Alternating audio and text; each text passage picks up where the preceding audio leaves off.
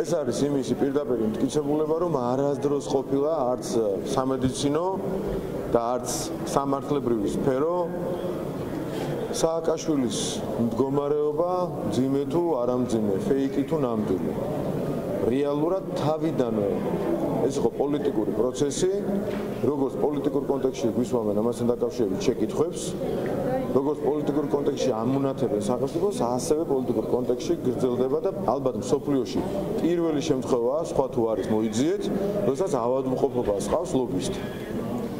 როდესაც PR კომპანია ლობირებს თავისი PR სტრატეგიული მეთოდებით ავადმყოფობას და ამ ეგიდით ადამიანის გათავისუფლებაზე იღებს გარკვეულ პასუხისმგებლობას. ეს არის სოფლიოში უპრეცედენტო შემთხვევა და გვაქვს საქმე მხოლოდ მიხეილ სააკაშვილის შემთხვევაში.